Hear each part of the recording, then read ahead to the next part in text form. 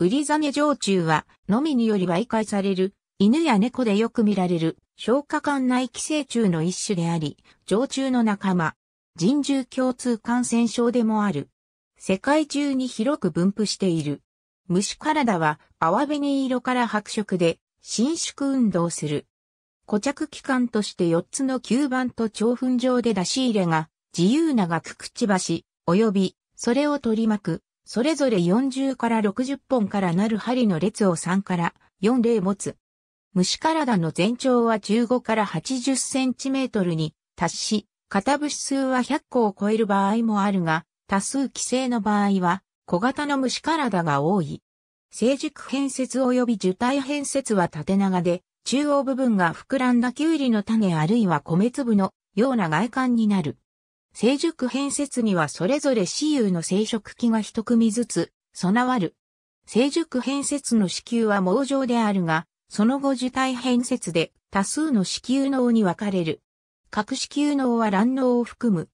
各卵脳には3から20個の中卵を入れる。中卵の大きさは31から50、27から53マイクロメートルで内部に6針幼虫が見られる。収縮種の糞便とともに排出された中卵、卵脳を中間宿主が接触することにより伝播する。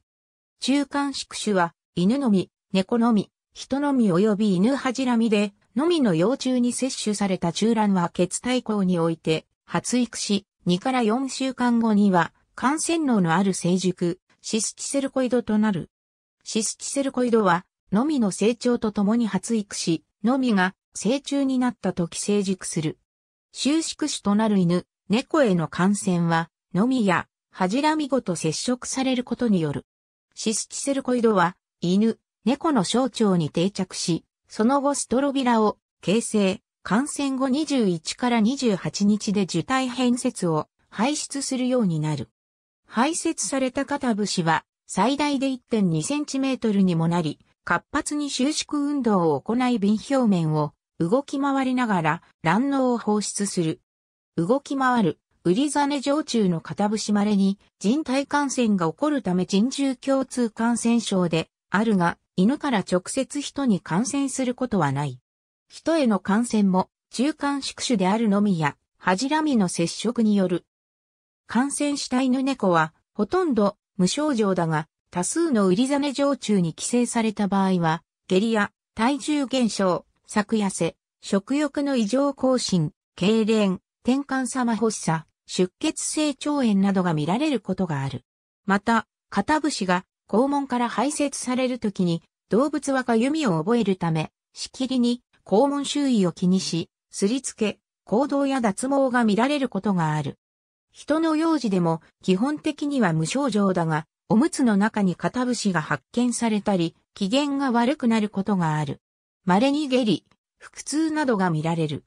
糞便中の肩節の有無、もしくは卵脳、中卵の検出により診断する。中卵は卵脳に包まれ、間別には3から20個の中卵を含む卵脳が指標となる。糞便への肩節や中卵の排出数は変動があるので、複数回検査する必要がある。ウリザネ常駐の卵脳多の常駐同様、治療にはプラジカンテルやフェンベンダゾールなどが用いられる。本気成虫の予防には、のみ、恥じらみ等中間宿主の対応が重要であり、犬や猫への殺虫剤処置だけではなく、犬や猫の生育環境の清掃も必要となる。また、犬や猫に寄生しているのみを不用意に手で潰すなど、すると、のみ体内のシスチセルコイドが飛散することがあるため、注意しなければならない。ありがとうございます。